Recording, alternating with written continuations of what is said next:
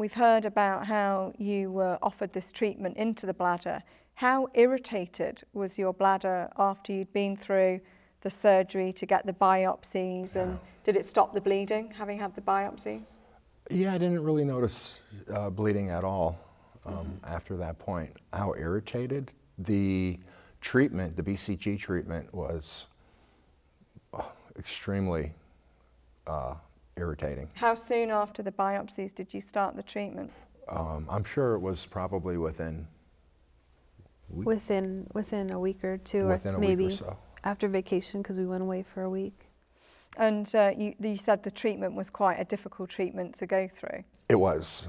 It what was. did the treatment it, involve? The treatment involves uh, they prepare a uh, they prepare a uh, a drug, I guess. Um, uh, it's introduced via my, my penis and put in my bladder. And so they put a catheter, a, Foley catheter, catheter into the bladder, right, right. And they, they, they, uh, they put the drug in. And um, like a rotisserie, I'm supposed to rotate every 15 minutes. Right. To coat the bladder walls. To coat the bladder walls. Initially, it's easy to do. Mm -hmm. But they want you to keep this in for two hours. I don't know if I've ever made two hours. The, uh, I don't think so. No, no, no, I got close. Was it a painful procedure at the time, or it was just? The procedure itself was fine. There was no pain, no pain. It was trying to retain this medicine inside your bladder mm -hmm. for a two-hour period. The See, urge to urinate became so intense. Oh, really? Right. He, he probably about after an hour. That's horrible. And uh, this treatment that you had, it was a course of treatments, not just a one-off treatment. Correct, correct. And you had six treatments initially. Six treatments, one every week. And before you started the treatment, did the urologist give you any idea about how successful this would be at controlling the cancer?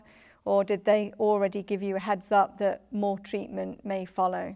Oh, a little bit of both. That, that this is the treatment that they have success with, but you know, it's not the only thing that, that that they have that they could go back and, and we could repeat the process or see what's going on. He did say that my worst case scenario, maybe I may have to lose my bladder. That was, you know, put out on the table. Right. Pretty early. So despite the difficulties of holding on to the bladder instillation for the two hours and the irritation to your urinary tract, you persevered, you went oh, through absolutely. Oh. the ah. full six treatments oh. and ah. then uh, after that, the uh, urologist had another look inside the bladder, did he, to see he if did, it worked? He did, and uh, I guess the, the success rate that he was expecting, he didn't see.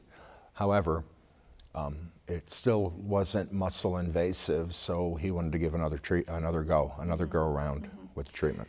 And before we bring Dr. Plimack back to talk about the specifics of the treatment that you had, mm -hmm. during this treatment that you're obviously having in the urologist's office, were you able to work during the treatments or were your symptoms so bothersome that it was really affecting your you mean you mean after the right in the it, it, while you're well, going through treatments well, you're able to continue oh working. yeah yeah absolutely um, yeah not, nothing really keeps me down um, I had the uh, I had the treatment in the office, and the office is relatively close. Mm -hmm. So I drove home, and it was in my house where I played uh, rotisserie, right. where I rolled around.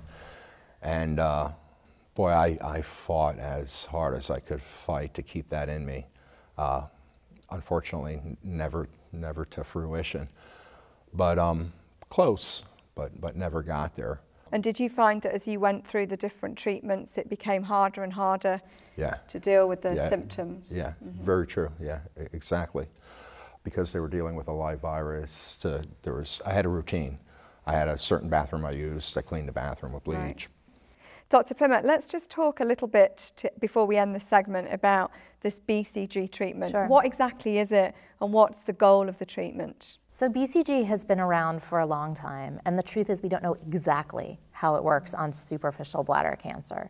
It is useful for bladder cancer that's in the first few layers of the bladder, like yours was when it was diagnosed, but it works, we think, to almost irritate the bladder and cause inflammation that then brings in the immune system to that superficial layer of the bladder. And then the immune system, we think, takes care so, of the cancer. So this is an immunotherapy agent. It's one of the first and oldest immunotherapeutics. It's been around for a long time.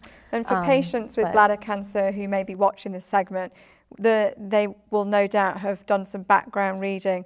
What's the association with TB? We know that BCG right. and TB, patients always ask, will I get tuberculosis. Right. Where does that come from? Because BCG is related to tuberculosis. It is not tuberculosis. It is not a weakened form of tuberculosis. It is its own entity. In fact, BCG was used in the past in some other countries to vaccinate against tuberculosis. Mm-hmm. So it is safe. Um, it is very, very unlikely to get any systemic infection from BCG and it does not put you at risk for tuberculosis or your family members. And for a patient who's had blood in the urine, irritated urinary symptoms, a biopsy, and then to put a chemical into a bladder that's raw and irritated so soon after treatment, does that make sense? Is that one of the reasons well, why it some so, of the irritation is from the cancer being there. So if BCG is effective at treating the cancer, patients actually can feel better mm-hmm. from successful cancer mm-hmm. treatment. Mm-hmm. And again, the goal is to cure this, right? BCG, the intent of BCG is to cure superficial bladder cancer.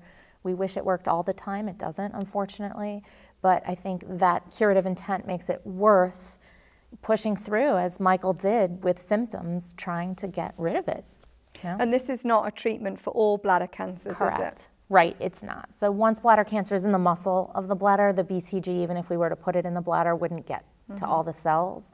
And so we know we need to take a different approach in that right. setting. And if you have a patient who has a superficial bladder cancer, but it's a low grade cancer, would you still offer BCG if you're pretty confident that you've removed the tumor? So I, am a medical oncologist. So I'm not the one offering the BCG. Um, I think that's a discussion that, that patients have with their urologist. Oftentimes you don't need it, you know. So it's not, again, it's not the treatment for cancer that's deep into the muscle, and it's not always the treatment for mm-hmm. very superficial cancer. And Michael locally. explained that even before he started the BCG, his urologist had already pre-warned him that the BCG may not work and had right. set the scene that potentially more radical surgery, removing the bladder may be necessary.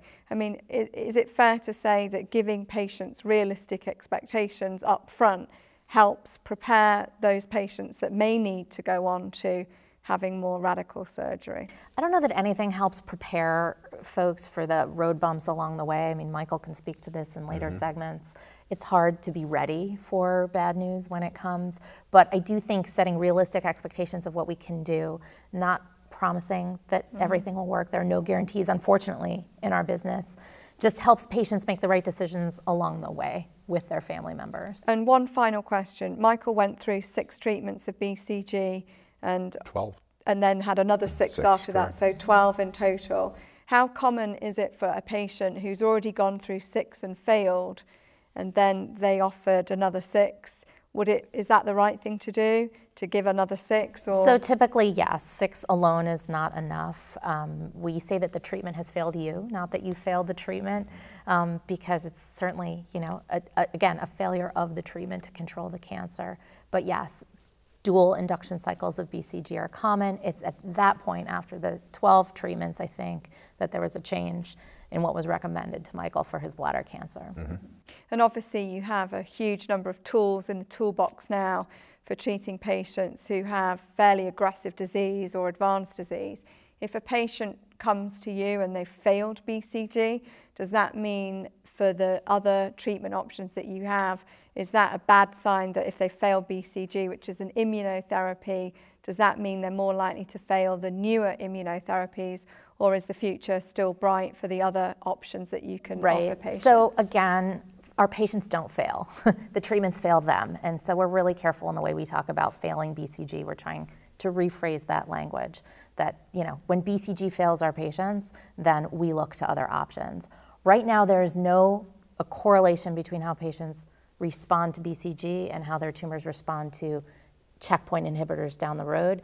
That makes perfect sense to me. It's a totally different mechanism and it's a totally different approach, topical versus systemic. So while we're looking to see how checkpoint inhibitors may interact with BCG in clinical trials, right now, if BCG hasn't worked for a given patient, it doesn't mean that other immunotherapeutic mm-hmm. options won't work. So just to wrap up this segment, we know that BCG for many patients can be extremely helpful at controlling or curing the disease, but for even for those patients who fail BCG, the future is actually very bright in terms of what we can offer patients down the line with these newer immunotherapy treatments that we're going to be talking about in future segments? So I don't know about Bright, right? In the metastatic setting, it's a really different setting with a different set of expectations that we will talk about in future segments. For all patients, we hope BCG works for them. With any treatment, if it doesn't work, we flex and come up with something else.